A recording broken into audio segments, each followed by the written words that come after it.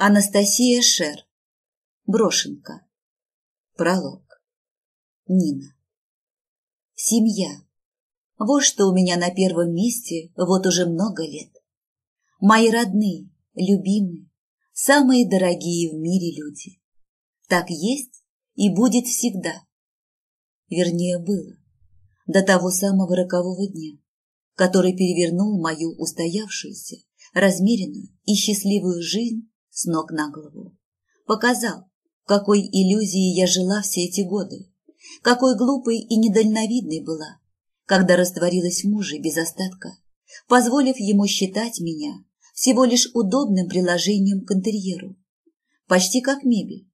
Кресло, которое уже старое и немодное, но выкинуть жалко, потому что к нему привыкла задница. Я ждала его из армии, потом ждала, пока он сделает мне предложение. Затем ждала, когда он будет готов к детям.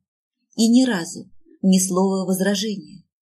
Я боготворила этого человека, слушала его, открыв рот, как наивная дурочка. Он был моим кумиром, моим миром. Четырнадцать лет. Я подарила ему четырнадцать лет своей жизни. Абсолютно и безоговорочно посвятила себя семье. И что в итоге? Располневшая, с розовым киселем вместо мозгов, без работы, полностью зависима от предателя. Поистине жалкое зрелище. Ненавидел ли меня кто-нибудь больше, чем я сама? Едва ли. Я так любила его, так боготворила. А теперь тону в вязкой вонючей тени, захлебываясь его жестокостью и цинизмом. Смогу ли я забыть все это? Если он приползет на коленях и станет молить о прощении. Глава первая. Слав, ну чего ты так рано уходишь? Еще же только семь утра. Я стояла у мужа над душой, пока тот надевал пальто. Работы много сегодня. Нужно подготовить один объект к сдаче, документы, сметы и прочую хрень. Бюрократия, мать ее. Взял из моих рук недоеденный бутерброд и, откусив большой кусок, чмокнул меня в щеку. Вечером не жди, буду поздно. Подожди, я же еще тебе обед приготовила. Не нуль, уймись, я в кафе поем. Щелкнул меня по носу и скрылся за дверью. Вздохнула и побежала к окну, чтобы проводить его взглядом, как делала каждое утро. Казалось бы, можно найти занятия и поразумнее. В тридцать четыре годика-то. Но куда там? Я же помешана на своем муже, как малолетка. Что четырнадцать лет назад, что сейчас.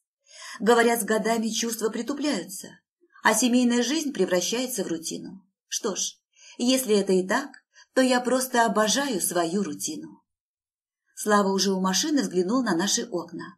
Помахал мне рукой. Старая добрая традиция. «Мамуль, а где папа опять?» Спросила за завтраком дочь, откусывая от хрустящего тоста. «Как где? На работе? Где же еще ему быть?» Я подвинула тарелку с кашей Кириллу, на что тот недовольно накуксился. «Фу, опять каша!» Яна отзеркалила действия брата, а я закатила глаза. «Так, не начинайте. Каша полезная. А колбаса, которую вы так любите, гадость. Питаться нужно правильно и помните, мы то, что мы едим». Закончила за меня Яна и фыркнула. «Но колбаса все равно вкуснее, даже папа так говорит». Я улыбнулась. «Надо же, как могут быть дети похожи на одного родителя и ничего не заиметь от другого? Оба моих цветочка были точной копией своего отца. Характер, повадки, внешность. Варламов даже иногда подшучивал надо мной, мол, от любовницы детей родил. И я бы, наверное, даже поверила, если бы не знала, что он никогда меня не предаст. Мой Варламов – самый верный и преданный мужчина в мире. А еще идеальный семьянин. «Мам, а можно я сегодня в школу не пойду?» Законючил Кирюша, впрочем, как и всегда. «Не пойдешь в школу, станешь тупым дураком», ответила ему Яна, за что я вознаградила ее осуждающим взглядом. «Что, мам, ты сама говорила, что в школу нужно ходить, чтобы стать умными». «Да, но твой брат не дурак». «Все, собирайтесь в школу, бегом», а Янка двойку на прошлой неделе получила. Пошел в наступление сын, и я засмеялась. Знаю, я видела ее дневник. Встали и пошли к машине. Повторять не буду. Да, подруга. Юлька покачала головой, глядя полными ужаса глазами на мою талию. Но ты разжирела. Вот от кого от кого, а от нее это слышать было смешно. И это мне говорит девушка, под которой ломаются весы, парировала я, немного оскорбившись замечанием лучшей подруги. А вот Юльке, как с гуся вода, наплевать с высокой башни, кто там и что говорит. Она лишь пожала плечами и открыла меню. Начнем с того, что я таки уже не девушка, а женщина. Хотя за комплимент спасибо. Да и у меня телосложение такое. Я всегда пухляшом была. Это моя изюминка, если хочешь. А тебя помню стройной красоткой. Нарастила бока. Имей смелость признаться. О, я вот эту пироженку буду. А ты что? Я покачала головой, отодвигая меню. И за что я дружу с этой стервой? Напомните мне кто-нибудь. Накормила, спасибо. Да ладно тебе, не гунди. Уж лучше я тебе правду скажу, чем муж. Поверь, услышать из его уст это будет намного обиднее. В чем-то она, конечно, права. Мой Славка весь из себя красавец, представительный и до ужаса сексуальный мужчина. А я вот что-то запустила себя. Действительно будет очень неловко, если он мне об этом скажет.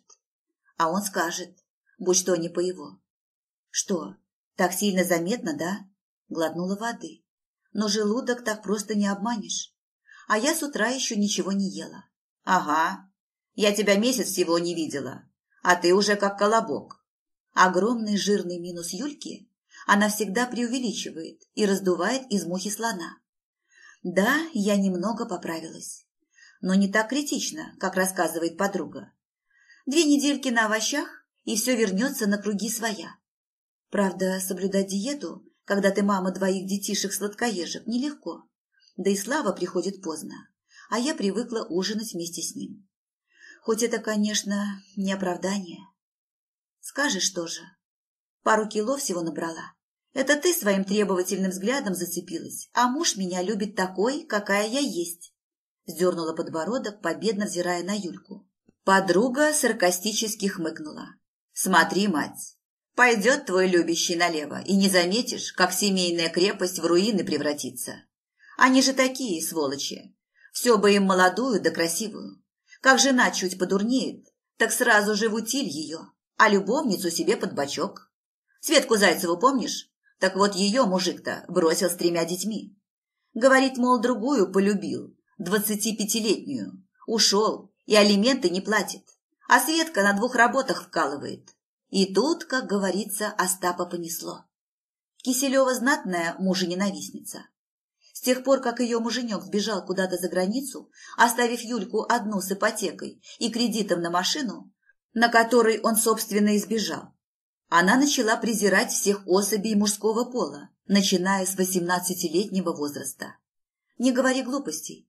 Мой Славка никогда меня не предаст. Мы с ним с юных лет вместе. Семья у нас. Он не из тех, кто все это променяет на какую-то девицу, будь она хоть трижды стройная и распрекрасная. Юля саркастически хмыкнула, но в дискуссию ударяться не стала. И за то спасибо. «Ой, ладно, давай выпьем, что ли? Не виделись целый месяц. Рассказывай, что там у тебя нового?» «Ты чего не спишь?» Муж сухо чмокнул меня в щеку и со вздохом стащил с себя пальто. «Не представляешь, как я устал. Зверски просто. Ты же знаешь, я не могу уснуть без тебя. Ты сегодня очень долго. Пойдем, я тебя накормлю.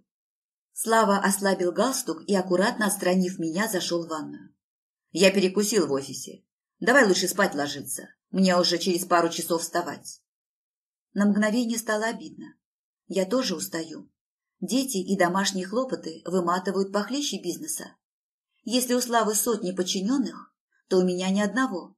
Дом на мне, уроки, стирка, глажка, готовка. Разве я не устаю? Но ведь все равно грею мужу ужин три раза за вечер и жду его до глубокой ночи. Неужели я не заслужила хоть немного ласки, хотя бы чуточку внимания? Но тут же себя одернула. конце концов, он старается.